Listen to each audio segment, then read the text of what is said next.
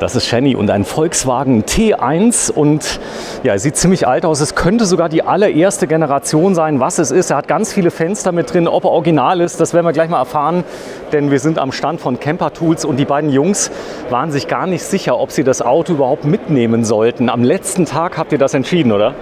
Ja, kurz vor der Messe haben wir uns dann doch noch dazu entschieden, dieses Richtig. schöne Fahrzeug dann hier äh, auf den Stand zu stellen. Und war auch eine gute Entscheidung, auf jeden es Fall. funktioniert. Die Leute sehen den Bus, die finden den Bus geil, dann sehen die unsere Produkte und sind einfach überzeugt. Also das Fahrzeug steht ab jetzt jedes Jahr bei uns. Ja, sehr schön. Wenn ihr euch mal kurz vorstellt, äh, du bist der? Ich bin Robert, gelernter Feinwerkmechaniker und bei Chemtools tätig. Ich bin Marco, Produktdesigner, auch bei Campus tätig. Ja, ganz, ganz wichtig, großer Markt. Ähm, ihr habt Produkte, die in viele Fahrzeuge passen. Nicht nur im VW T1, den wir uns gleich mal anschauen, sondern äh, das ist ein Beispiel von einem Produkt. Das ist ein Beispiel von einem Produkt, das die Sidekit. Allgemein sind wir Experten für modulare Schlaf- und Küchensysteme. Wir sind nicht spezialisiert auf Vollausbauten, sondern unser Ziel ist es, einfach jeden Van, ob es ein T1, ein T6, ein T5, ein Ford Custom ist, umzubauen und äh, am Wochenende damit in den Urlaub fahren zu können. Ja, das ist ganz modular, das heißt, das kann ich auch rausschrauben, könnte ich theoretisch auch zu Hause verwenden, oder? Richtig, genau. Also wir haben tatsächlich einen Kunden, der hat das auf dem Balkon stehen, wenn er gerade nicht im Urlaub ist, weil er dann draußen kocht. Wir zeigen das mal ganz kurz. Da ist eine Pumpe mit drin, Strom ist nicht mit drin, oder? Doch. Ja, sicher. Ja, sicher. Wir haben, hier, wir, wir haben hier den Anschluss, 12 Volt im Fahrzeug, haben darüber noch eine USB-Dose verbaut, für, um das Handy laden zu können oder alternativ eine Lampe auf das Kochfeld zu richten, wenn man nachts kocht.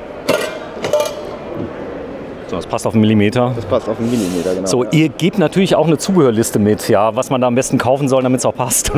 Genau. Also wir haben unser eigene, eigenes Geschirr in Emaille entwickelt. Wir haben Kocher, Schnellkochtöpfe dabei, eigenes Besteck. Und das sind alles Kleinigkeiten, aber wir haben einfach Lust auf schöne Produkte, deswegen haben wir es selber gemacht. Ja, das Ganze passt auf den äh, Millimeter. Wie, wie schneidet ihr das zu? Mit einer Spezialmaschine oder was habt ihr Das sind da? alles CNC-gefertigte Teile. Okay, das heißt, ihr habt ja im Rechner, die könnt ihr produzieren auf Knopfdruck. Wir zeichnen in CAD, sowohl Robert als auch ich.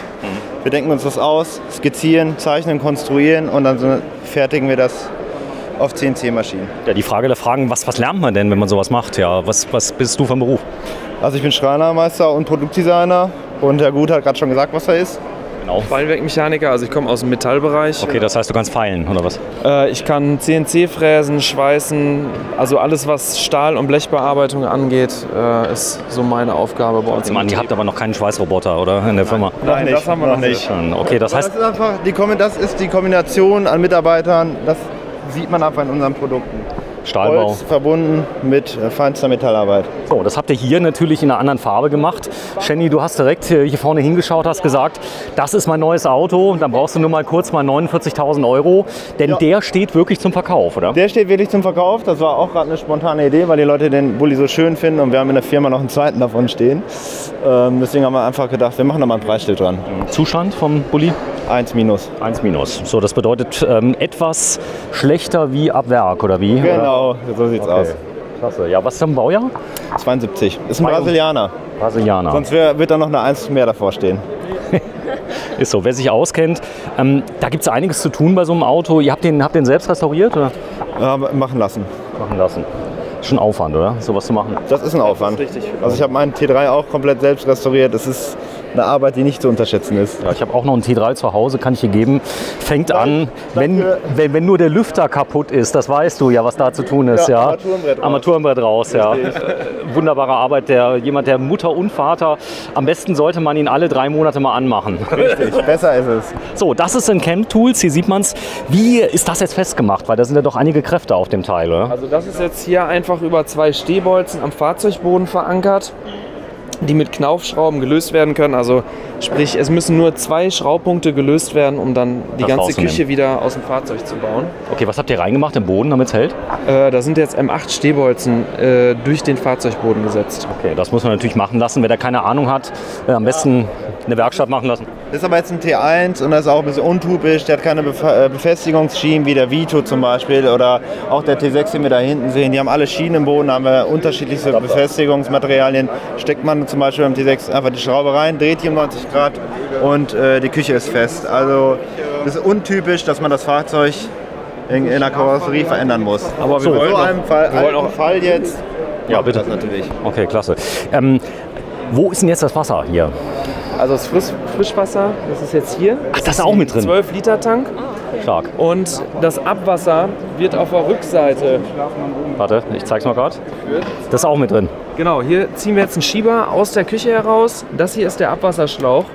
Und da hängen wir dann einfach einen Abwasserkanister dran, nehmen den Deckel runter und stecken dann, stecken dann den Schlauch einfach in den Kanister Und lass ab. und fertig. Also das noch muss mal- man natürlich nicht immer machen. Also nur, Nochmal hier zum Mitschreiben. Das ist ein Standardkanister, den kann man kaufen.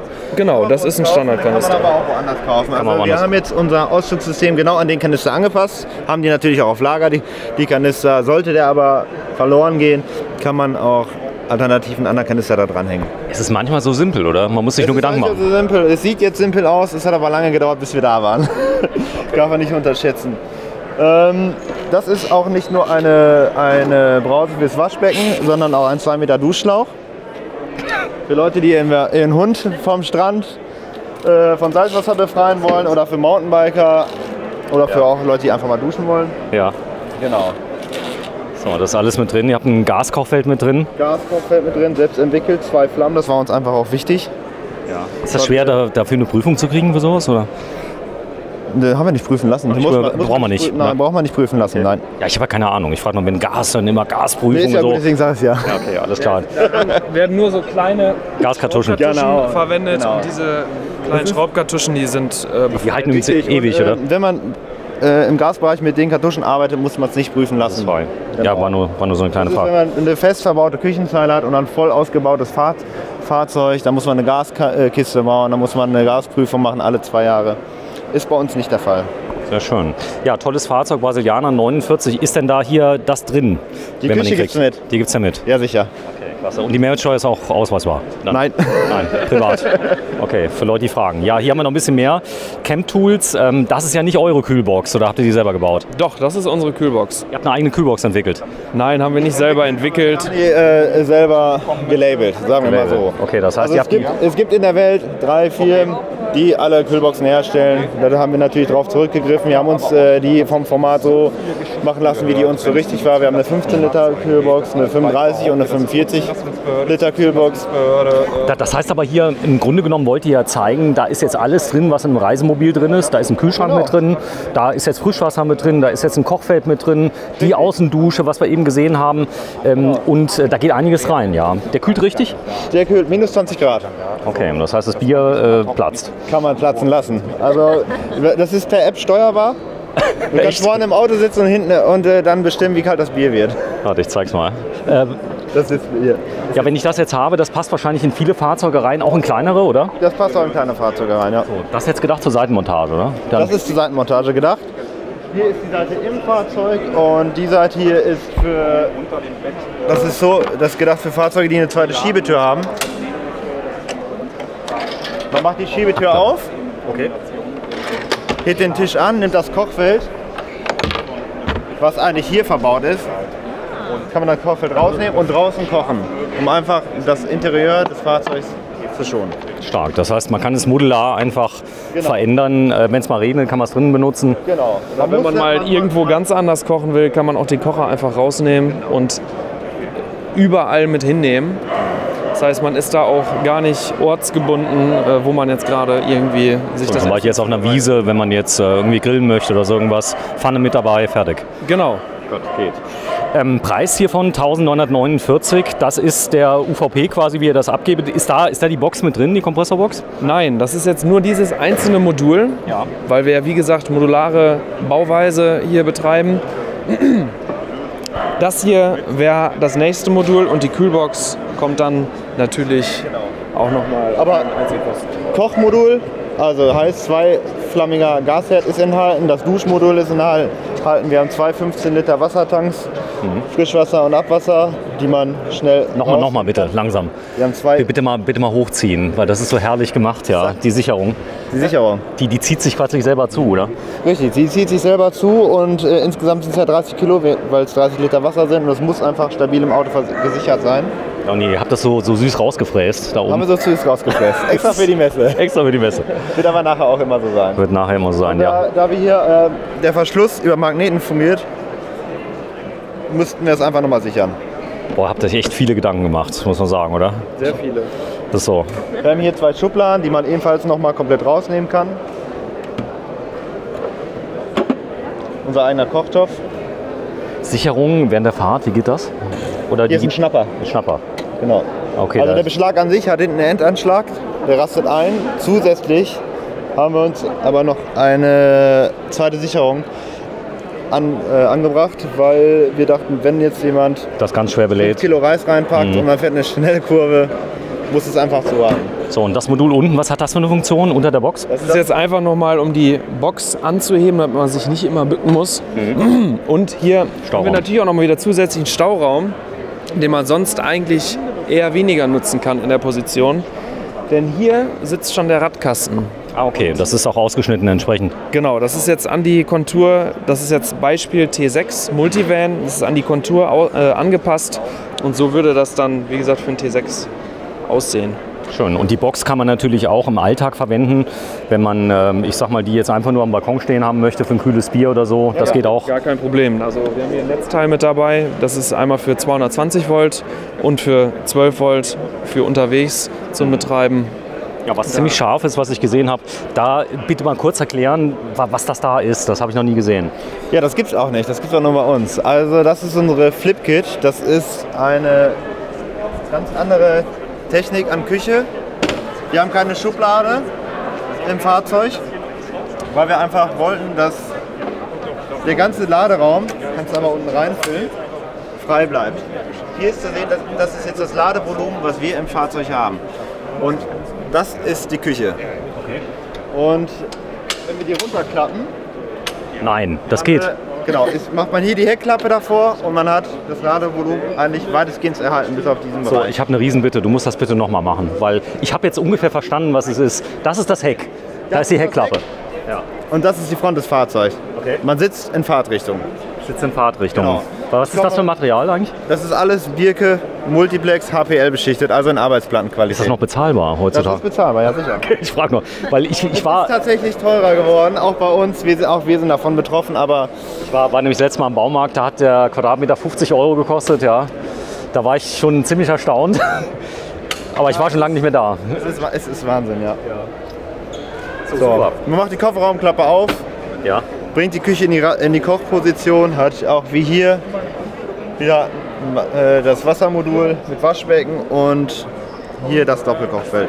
So, ihr habt Gasdruckdämpfer eingebaut, damit der ja nicht zuknallt. Ja. Genau. Und auch offen bleibt. Ja. Richtig.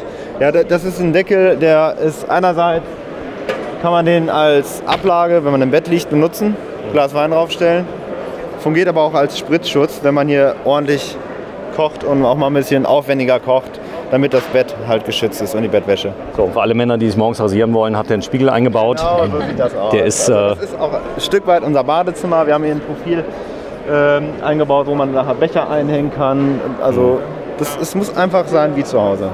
So, das Ganze, das Ganze ist aber ein komplettes Möbel, was du reinschieben kannst. Ihr habt es Genau. jetzt festgemacht auf Airline-Schienen. Das sind diese Adapter, oder? Das sind jetzt, äh, das Podest hier soll äh, dem Mercedes Vito nachempfinden, deswegen haben wir Airline-Schienen eingebaut. Das ist jetzt ein Schlafsystem, zwei Meter Länge und vorne haben wir noch de, eine Sitzbank dran. So, da darf man auch sitzen, ganz offiziell auf der Bank. Ja sicher, also während der Fahrt nicht, nein. Ja, während der Fahrt nicht. Also Nein. das ist eine reine Campingbank. Nein, das ist in Deutschland einfach nicht mehr zulässig. Äh, die Zweipunktgurtlösung wie beim T3, den du und ich fahren, äh, die ist einfach nicht mehr zulässig. Das, das kriegt man in Deutschland nicht mehr hin. Und sollten wir, möchte man für so ein Produkt eine Zulassung haben, dann wird es wahnsinnig schwer. Und das macht keinen Sinn, das selber zu entwickeln.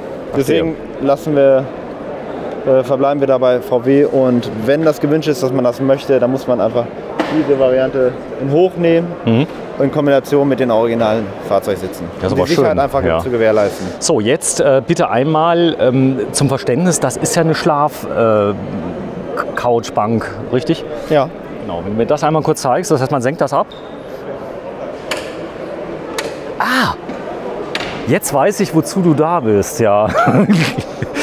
Wahrscheinlich auch da, da macht man sich viele Gedanken. Das sind ja viele Winkel, man muss auch äh, ein bisschen Mathematik können, oder? Ja. tatsächlich. Haben wir auch alles, also die ganze Kinematik haben wir auch komplett selber entwickelt. Äh, die Beschlagteile fertigen wir auch alle komplett selber.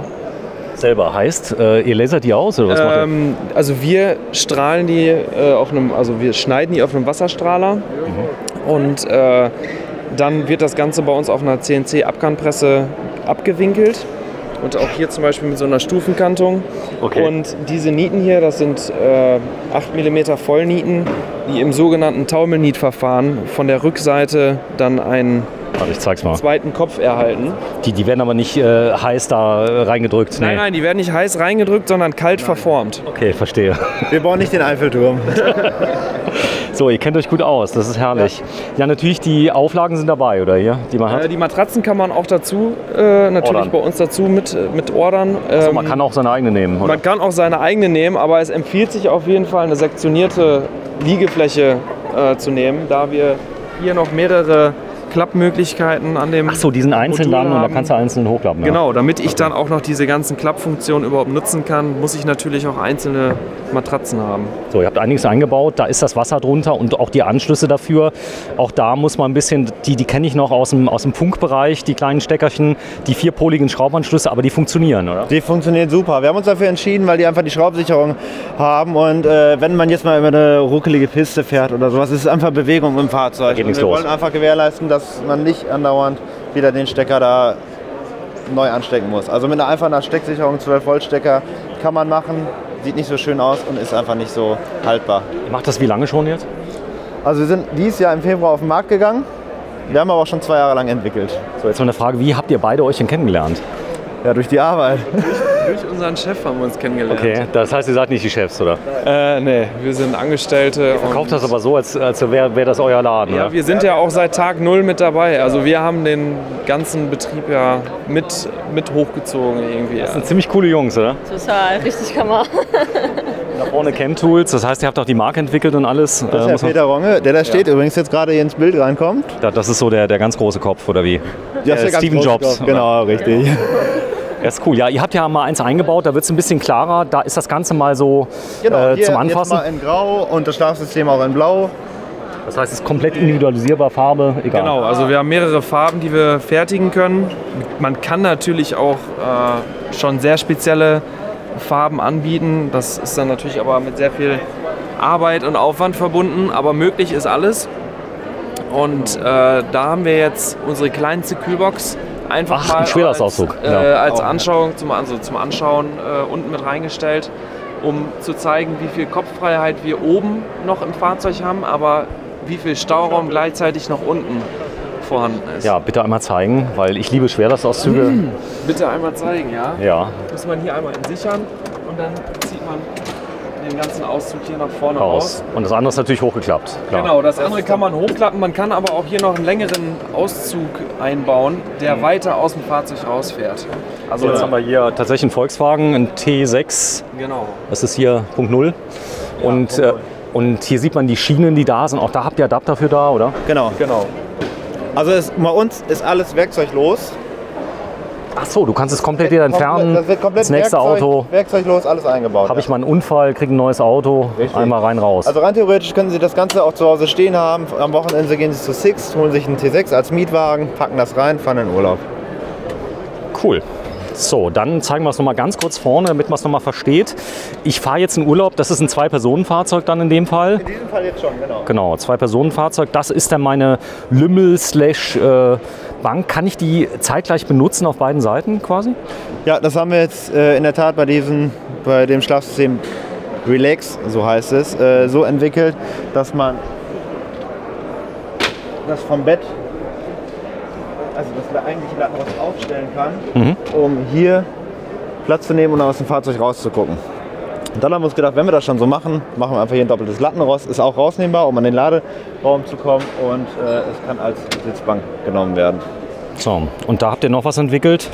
Ähm, Das ist jetzt hier noch so eine zusätzliche kleine Box sozusagen, um nochmal Stauraum zu generieren.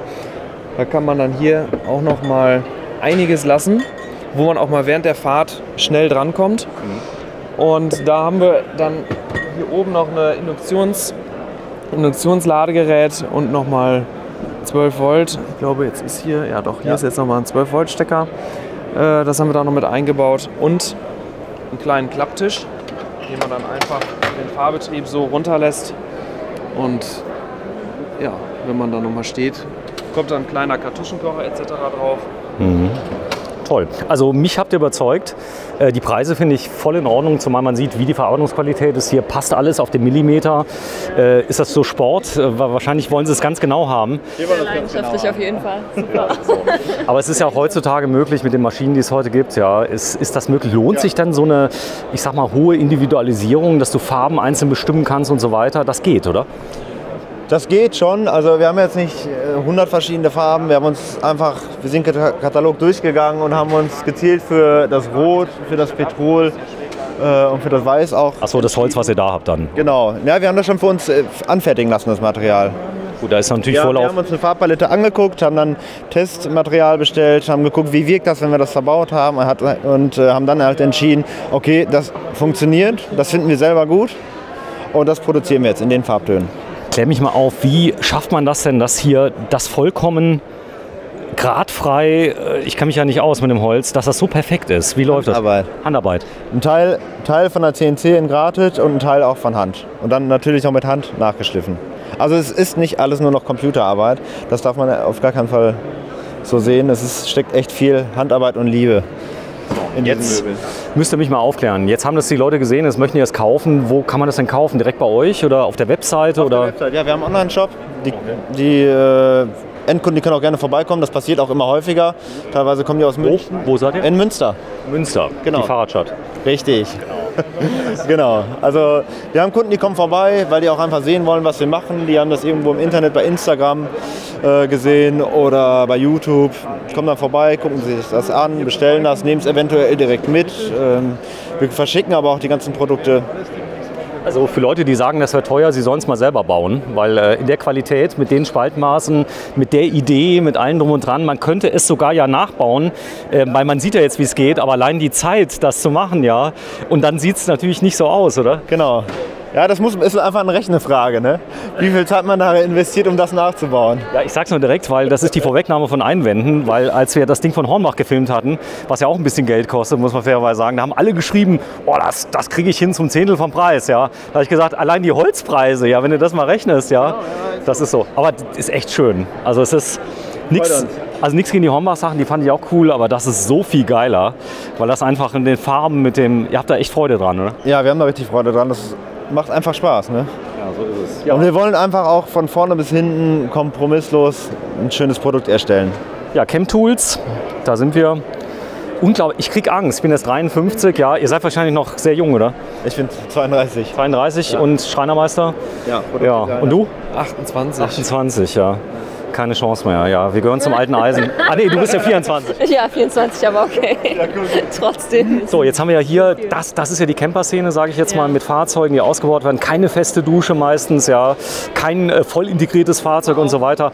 Aber das, das ist auch so ein bisschen dein Ding. Einfach mal, ich sag mal, mit so einem Fahrzeug raus und einem Zelt und dann ein bisschen kochen. Halt einfach drauf los und dann ist das super. Ja, sehr, Passt sehr schon. cool. Und ihr, ihr seid erst seit zwei Jahren da? Ja. Am Markt. Genau. Sehr schön, ja. Also dieses Jahr im Februar ist der Online-Shop losgegangen. Mit unserem kleinen Küchenblock, erste, erste Produkt. Ähm, aber wir sind schon länger am Fe beim Firmenaufbau dabei. Die Entwicklung hat natürlich auch gut Zeit in Anspruch genommen, aber jetzt sind wir voll da und jetzt können wir liefern. So, und jetzt die Reaktion, wollten die Leute es gleich kaufen auf der Messe? Jo. Die Reaktionen sind super. Gestern war auch der WDR da. Also das ist, es ist schön hier zu sein. Das ist unsere erste Messe. Es kommt gut an und das ist einfach ein schönes Gefühl, wenn die, wenn die Arbeit, die man da, oder Energie, die man da reingesteckt hat, dann auch in Worten quasi. Das Beste ist einfach die Resonanz der, der Leute, die, Ja. die sich das hier angucken, Ja. weil die alle hin und weg sind von dem ganzen Design, von den Farben und Von den Funktionen. von den Funktionen natürlich und wie leicht auch die Produkte sind, weil, wie gesagt, das Gewicht spielt ja auch eine große Zuladung, Rolle. ja. Genau, zuladungstechnisch etc. Das ist also nicht nur Zufall, das ist jetzt so B- und Entlüftung der Matratze. Das spart richtig Gewicht, Nein, das sein. ist wirklich das Maximum, was man wegnehmen konnte, ohne das äh, die, die Konstruktion zu beeinträchtigen, genau, die Stabilität zu beeinträchtigen. Ja, vielen Dank euch allen. Heute 28. August 2021. Wir sind auf dem Caravansalon in Düsseldorf, dem 60. Und das ist camptools.com. Da könnt ihr mal draufgehen und kriegt alle Informationen. Tschüss euch allen. Ciao.